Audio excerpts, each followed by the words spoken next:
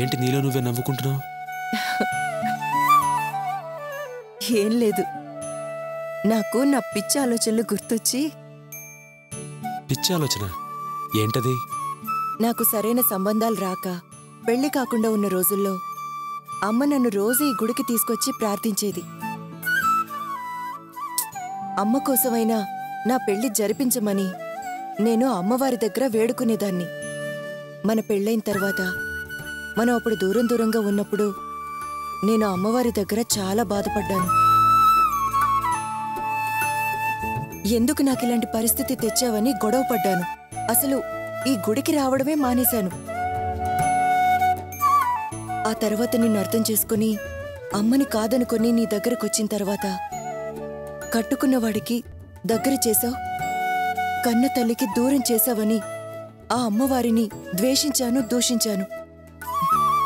అయినా ఇప్పుడు కూడా ఆ అమ్మ నన్ను చల్లగా చూసుకుంటుంది. మంచి భర్తని మంచి జీవితాన్ని ఇచ్చింది. నేను అమ్మవారి దగ్గర ఎంత పిచ్చిగా ప్రవర్తించానని ఇప్పుడు నవ్వుకుంటున్నాను. అర్చన భగవంతుడికి భక్తుడికి ఉన్న సంబంధం తల్లికి బిడ్డకి ఉన్న సంబంధం లాంటిది.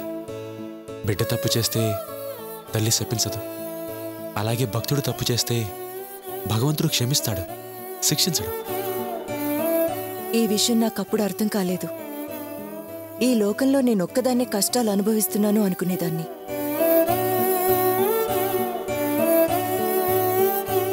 కానీ ఇప్పుడు నాకన్నా సంతోషంగా ఈ లోకంలో ఎవరూ లేరని నేను అనగలను.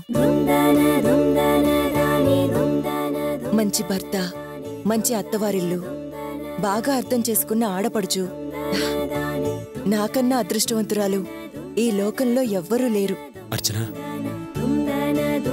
ఈ మాట నువ్వు మనస్ఫూర్తిగానే అంటున్నావా? ఎందుకు అలా అడుగుతున్నావు? నేను నీతో అబద్ధం చెప్తానా? అయ్యో అలాని కాదర్చన సాధారణంగా కడుపుతో ఉన్న ఏ ఆడపిల్లైనా పుట్టింటికి వెళ్ళాలని ఆశపడుతుంది. నువ్వు మొదటిసారి కడుపుతో ఉన్నప్పుడు నీ మొహంలో ఆ కోరికను చూశాను. ఆ తర్వాత మనకి మీ అమ్మగారు వాళ్ళకి గొడవలయ్యాయి. ఎలాంటి బంధుత్వం సంబంధం ఉండకూడదనుకున్నాం. తెగతెంపులు చేసుకున్నాం. మళ్ళీ ఇప్పుడు నువ్వు కడుపుతో ఉన్నావు. ఇంతకుముందు ఒకసారి అన్నావు గుర్తుందా? మా అమ్మ గుమ్మంలోకి వస్తే అన్నీ మర్చిపోతాను అని. అది గుర్తొచ్చి అడిగాను. అంతే. నిజంగా నాకు వాళ్ళ మీద ఏ ధ్యాస లేదు. పుట్టింటికన్నా మీరే నన్ను బాగా చూసుకుంటున్నారు. అందరూ మాట వరుస కంటారు కానీ మీరు నిజంగానే నన్ను మహారాణిలా చూసుకుంటున్నారు. నాకు ఇంక ఎవరూ లేరు. వేరే ఏ ఆలోచన లేదు. కానీ నాకు ఒక చిన్న ఆశ ఉంది. అది తీరుస్తావా? కోరిక. ఏంటచ్చనా అది?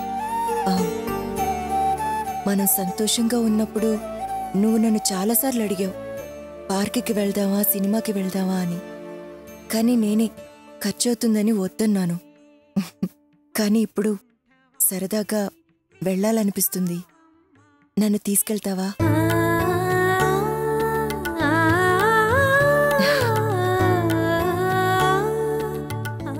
ఏంటలా చూస్తున్నావు? చాలా పెద్ద కోరిక కోరానా? అబే అదేం లేదు. తప్పకుండా తీసుకెళ్తాను. పదర్చన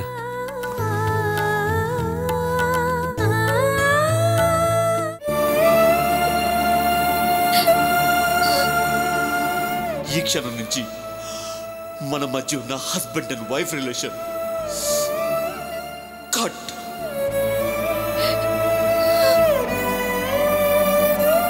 నువ్వు ఈ సెకండ్ నుంచి నా భార్య కాదు.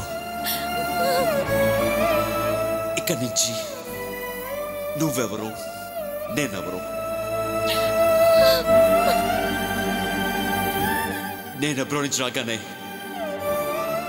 మొట్టమొదటి చేసే పని నీకు డైవర్స్ ఇవ్వడం. సెక్యూరిటీ ఇవి ఇమీడియట్గా బయటికి పంపించండి.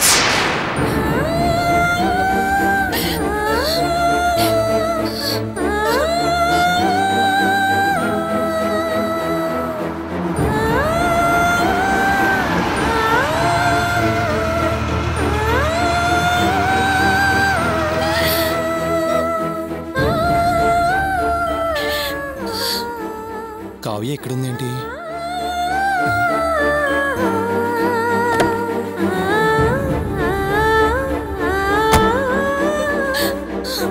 కావ్య?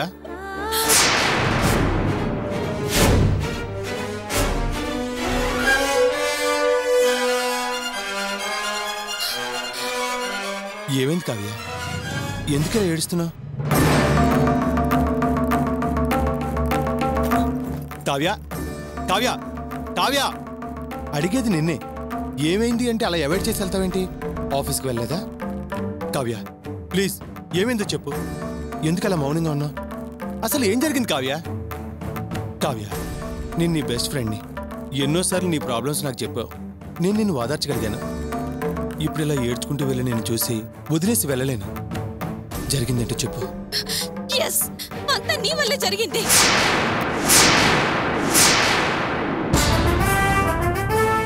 నా వల్ల. అసలు ఏం జరిగింది కావ్య? ఏం జరిగిందా?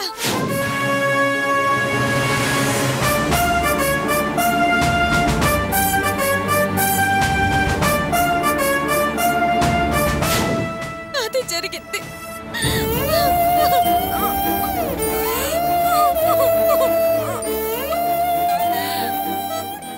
సో నీకు ఇలాంటి పరిస్థితి రావడానికి కారణం నేను. ఇలా జరుగుతుందని నేను ఏనాడు ఊహించలేదు. నాకు తెలియకుండానే నీ జీవితంలో నేను ఎంత పెద్ద ప్రాబ్లం క్రియేట్ చేశానో తలుచుకుంటేనే బాధేస్తుంది. I'm sorry Kavya I'm very very sorry నువ్వేం తప్పు చేసావని సారీ చెప్తున్నావు దిలీప్. ఇందులో నీ ప్రమేయం ఏముంది? ఉంది కావ్య నా పాత్ర ఉంది.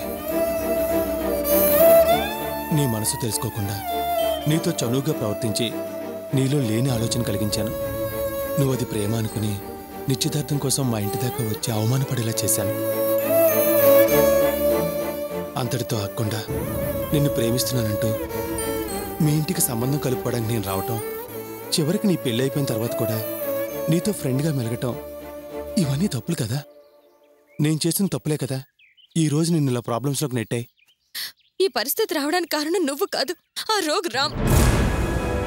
వాడిలా మళ్ళీ నా జీవితంలోకి ఎంటర్ అయి నన్ను ఇలా టార్చర్ చేస్తాడనుకోలేదు. ఆ రోజే హాస్పిటల్లో వాడి సంగతి తేల్చి పారాయాల్సింది.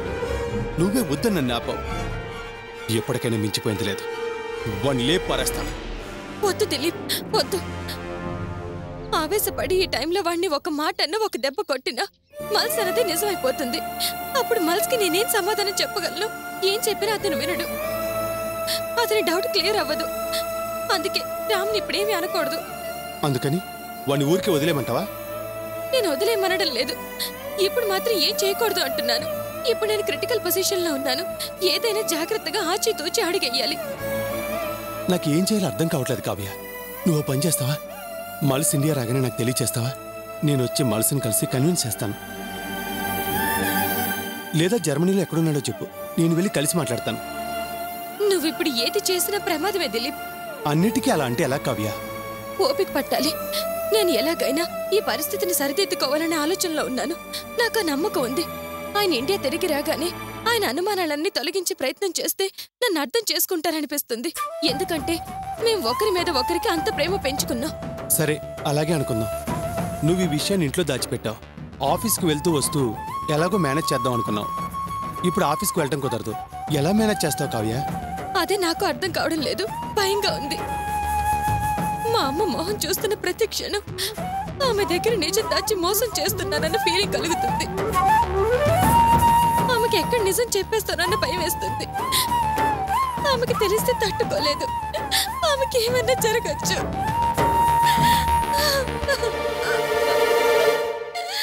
కావ్య కావ్య ప్లీజ్ ఏడవద్దు కావ్య ఏడవకు Kavya please please cool cool Kavya.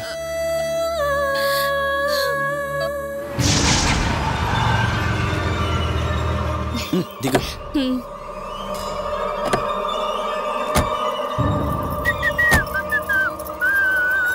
Come on darling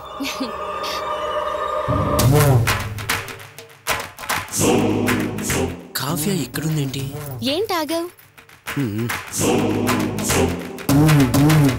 ఏం డార్లింగ్ చూస్తున్నావు? ఆ, అవును. ఐస్ క్రీమ్ కావాలన్నావుగా? అదిగో. అక్కడ అమ్ముతున్నారు. విడి తీసుకో. సరే. ఇదేంటి? ఆఫీస్ టైంలో ఇక్కడ కూర్చొనుంది? పైగా పరాయి మగాడు పక్కనున్నాడు. ఏడుస్తుందంటే ఏదో విషయమే ఉండి ఉంటుంది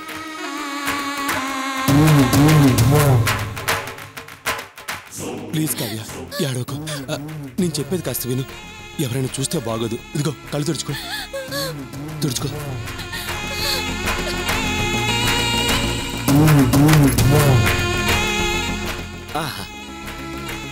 కథ రసవత్తరంగా జరుగుతుంది.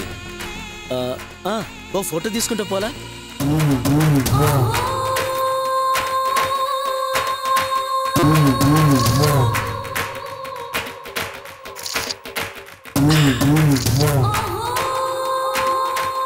వరలక్ష్మి కూతురు ఏడుస్తుంది.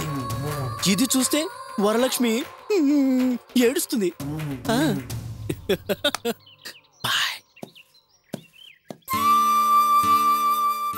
కావ్య ఇప్పుడు ఏం చేయాలని నిర్ణయించుకున్నావు? చెప్పానుగా నాకు నమ్మకం ఉంది. మల్స్ ఫారెన్ నుంచి రాగానే ఆయనతో నేను మాట్లాడి నచ్చ చెప్తాను. అందాక ఇంట్లో ఈ విషయం తెలియకుండా జాగ్రత్త పడితే చాలు. కానీ దిలీప్ నువ్వు ఆవేశపడి ఈ విషయంలో ఎలాంటి తొందరపాటు నిర్ణయాలు తీసుకోవద్దు. అది మళ్ళీ నా జీవితాన్ని ప్రమాదంలోకి నెట్టొచ్చు. లేదు కావ్య నువ్వు వద్దన్నాక నేనెందుకు చేస్తాను? కానీ ఒకటి మాత్రం గుర్తుంచుకో. నువ్వు మనసు కలిసి సంతోషంగా జీవించడానికి నేనేం చేయమన్నా చేస్తాను. ఏం చేయడానికైనా నేను రెడీ. ఎటువంటి పరిస్థితులైనా నీ స్నేహితుడు అక్కడ ఉన్నాడని మర్చిపోకు. సరే మనం బయలుదేరదాం నువ్వెక్కడ దిగాలో చెప్పు నేను దింపేస్తాను. ఎక్కడికి వెళ్ళాలో తెలియని పరిస్థితుల్లో ఉన్నదాన్ని ఎక్కడికని ఏం చెప్పగలను? నేను కాసేపు ఒంటరిగా ఉండాలనుకుంటున్నాను. నువ్వు వెళ్ళు. కావ్య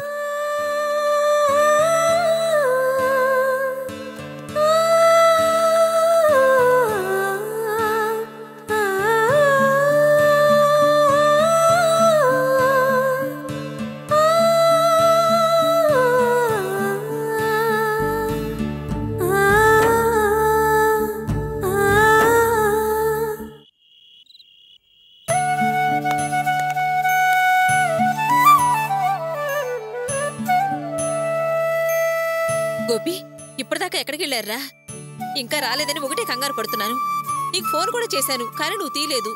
భయం వేసిందిరా. పైగా అచ్చిన వట్టి మనిషి కూడా కాదు. అమ్మా ఎందుకంత భయపడుతున్నావు? నువ్వు ఫోన్ చేసినప్పుడు మేము సినిమా థియేటర్లో ఉన్నాం.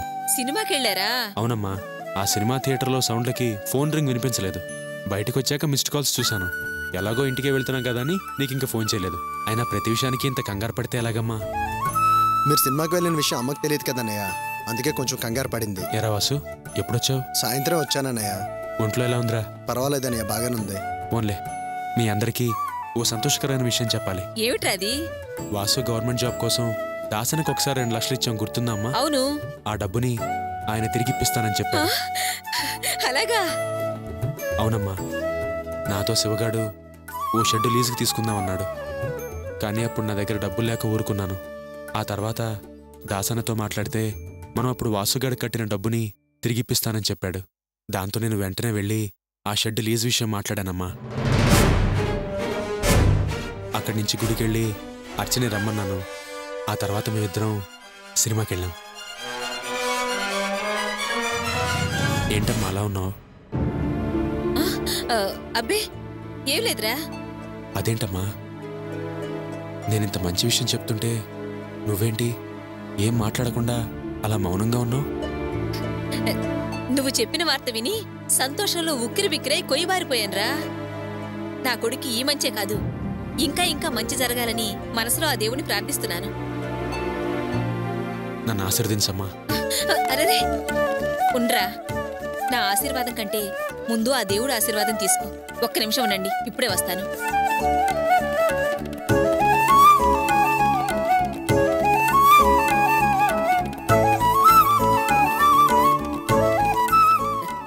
ఇదిగోనమ్మా తిరుపతి ప్రసాదం. మనసులో ఆ దేవుణ్ణి తలుచుకుని మంచి జరగాలని దండం పెట్టుకుని తినండి. అమ్మా నీకు తిరుపతి ప్రసాదం ఎవరిచ్చారు? నా కోసం మా అత్తగారు వాళ్ళు తిరుపతి మొక్కు మొక్కుకున్నారు. వాళ్ళు తిరుపతికి వెళ్ళొచ్చారు. ఆ ప్రసాదం ఇచ్చి వెళ్దామని నేను రేవతి ఇక్కడికి వచ్చాం. రేవతి లోపల నిద్రపోతుంది. అలాగా? ఆ, ఒరే గోపి ఇంతకు ఏమైనా తిన్నారా లేదా? ఆ, హోటల్లో తినే వచ్చాం అత్తయ్య అలాగా? సరే బాగా అలసిపోయినట్టున్నారు. వెళ్ళండి వెళ్ళి పడుకోండి. ఉమ్. ఒరే గోపి కడుపుతో ఉన్న పిల్లని ఇంత రాత్రిపూట ఇలా అటు ఇటు తిప్పితే ఎలారా? కాస్త జాగ్రత్తగా ఉండాలిరా. సర్లే వెళ్ళు.